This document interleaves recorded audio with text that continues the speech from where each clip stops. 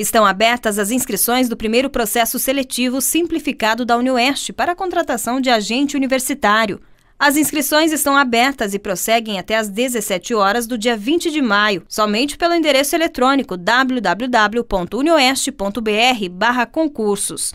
A prova escrita será realizada no dia 8 de junho, das 8h30 ao meio-dia e 30, em todos os campi da Unioeste. No caso de Francisco Beltrão, vagas para profissionais, nós temos duas vagas para intérprete de, de língua brasileira de sinais,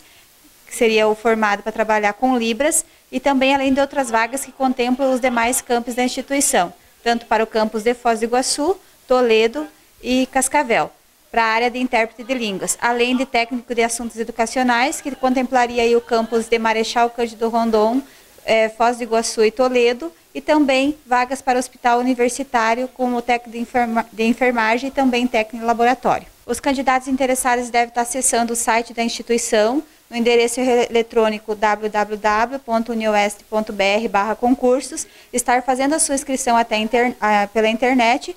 vai emitir o boleto para recolhimento da taxa de inscrição, sendo que para essas vagas que exigem curso superior, o valor da taxa de inscrição é de 150 reais, e os, e os cargos de nível médio, que seriam os cargos que envolvem o técnico de enfermagem e o técnico de laboratório, o valor de 100 reais. As inscrições elas prosseguem até o dia 20 e as provas já acontecem no dia 8 de junho, no domingo, no período da manhã.